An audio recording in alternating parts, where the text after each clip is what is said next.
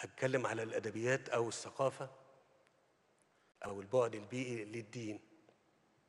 وأنا والله العظيم ما أقصد أي حاجة. عشان ما حدش يزعل آه كنا بنتكلم على آه أهمية تصويب وإصلاح الخطاب الديني. فمرة وقلت يا جماعة الواقع اللي إحنا بنشوفه في منطقتنا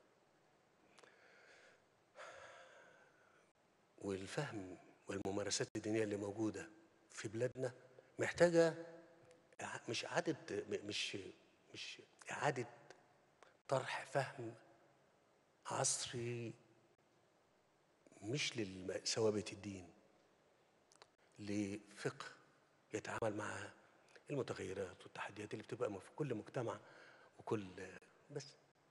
وجيت مرة اتكلمت على وثيقة إن إن الطلاق تبقى وثيقة آه وثيقة مكتوبة لحماية حقوق الناس.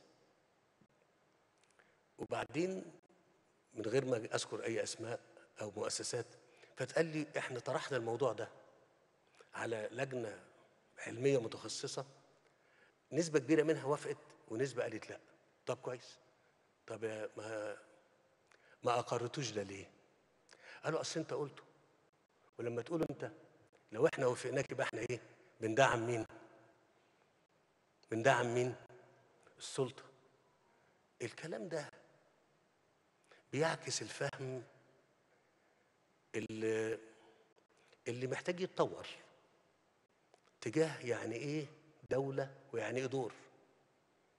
لو انت دايما حطيتني أنا في مكان وانت في مكان تاني ده مش حقيقي صح؟ إحنا دايما مع بعض. وأظن التعبير أنتوا سمعتوه مني كتير. سمعتوه مني كتير. فبمجرد إن أنا طرحته زي ما إحنا بنتكلم فيه كده بقى غير قابل للتنفيذ لأحسن هيقولوا إيه؟ ده أنت مشجع إيه؟ يعني تسيب الحق لأجل الكلمة دي.